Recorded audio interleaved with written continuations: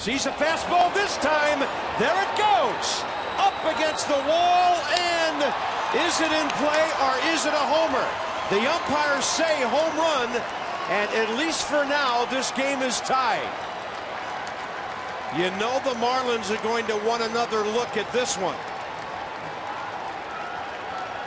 Well, I mean, this is going to open up a whole can of worms if it didn't go out, because where do you set the runners?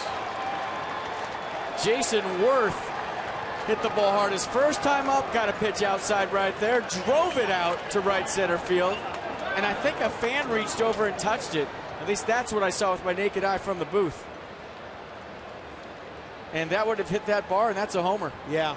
He's reaching over the railing, but the railing's a home run. And this is not a review from Mike Redmond, or a challenge, I should say, but an umpire review on all home runs. So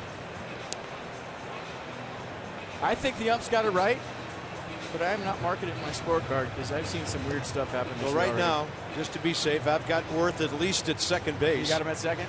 And I, uh, I, I, I would think with two outs, even if it ends up being a double, they'd send the other two runners home.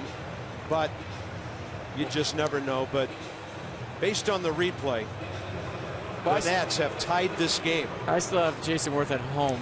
That's a homer. Yeah, they're definitely above the green wall. I mean, the ball can't be coming perfectly straight down. Well, those two guys got to communicate. I mean, somebody's got to call that, and that's where the problem was. They the both guy, went for the it. The guy on the left has got to say, I got it. They're showing it on the Jumbotron scoreboard big screen deal here, and that's easy. Here, what do we got? Home run.